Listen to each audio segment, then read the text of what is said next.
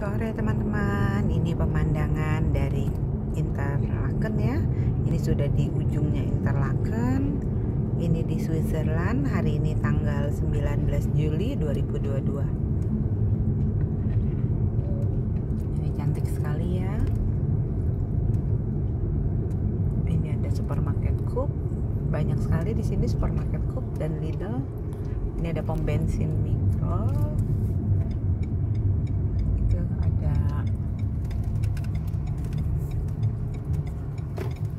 kereta ya. Nah ini hijau ini kereta. Oke terima kasih teman-teman